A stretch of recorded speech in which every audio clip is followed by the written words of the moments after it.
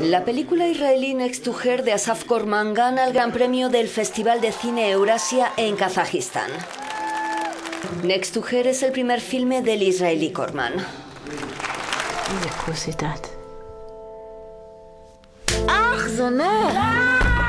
La cinta narra la estrecha relación entre dos hermanas, una de las cuales sufre retraso mental y cómo encaja en sus vidas la llegada de un hombre.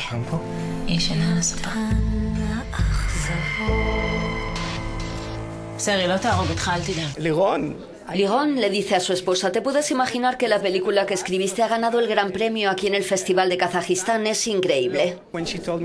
Cuando me contó la historia vi muy claro que esta iba a ser mi primera película. La hemos hecho con mucho amor como pareja.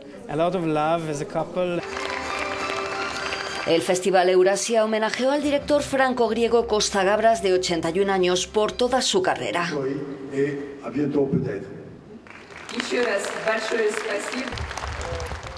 El jurado elogió la calidad de las películas de este festival. Cuatro premios fueron a películas hechas en Kazajistán, un gran éxito para la producción de cine nacional. Wolfgang Spindler aus Almaty, Kasachstan, für Euronews.